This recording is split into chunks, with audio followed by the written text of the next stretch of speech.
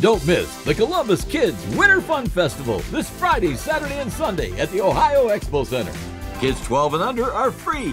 Family fun for everyone.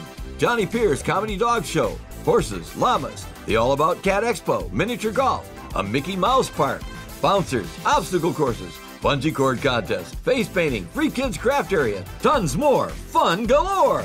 For discount tickets and free gifts, visit ColumbusKidsFest.com.